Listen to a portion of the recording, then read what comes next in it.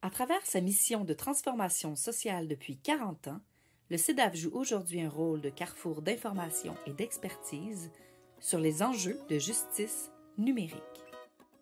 Notre centre s'y prend de différentes façons pour construire les connaissances, les transférer et soutenir les groupes dans leur usage du numérique. Mais comment on les construit, ces connaissances?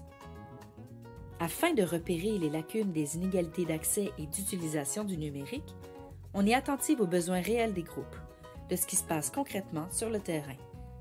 On est à l'affût des connaissances plus théoriques, statistiques. En bref, on fait une veille continue de l'actualité. L'idée est d'observer et d'interpréter les impacts sociopolitiques de l'évolution du numérique.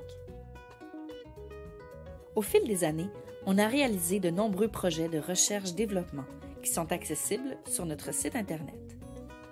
Vous trouverez des boîtes à outils sur la cyberadministration, sur les comptes en ligne et la localisation en contexte de violence conjugale, la cybersécurité dans le communautaire et une analyse féministe d'éthique pour des groupes mieux outillés. D'autres projets sont en cours.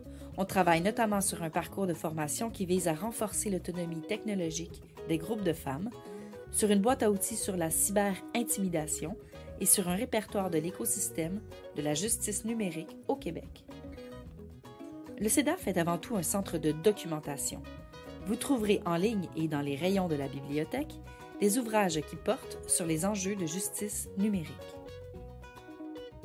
On varie les différentes façons de transférer les connaissances, via des bulletins de veille mensuels, des publications sur le site Web, des dossiers spéciaux sur des sujets vulgarisés et également sur les réseaux sociaux.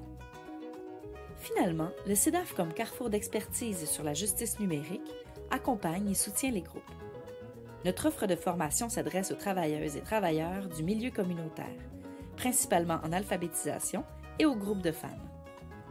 Les formations portent sur la création vidéo, l'animation en ligne, la cybersécurité, les logiciels libres, l'approche féministe d'éthique et sur l'éthique numérique. En plus de ces formations synchrones, on offre aussi gratuitement des outils d'auto-formation comme des boîtes à outils, des fiches conseils ou encore des capsules vidéo.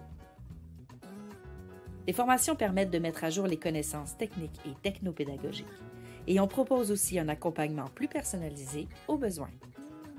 Le CEDAF a une vue d'ensemble sur les différents secteurs concernés par les enjeux de fracture numérique c'est pourquoi on a lancé une initiative à laquelle s'est déjà rallié une vingtaine de groupes. Restez à l'affût pour en savoir davantage sur cette mobilisation collective.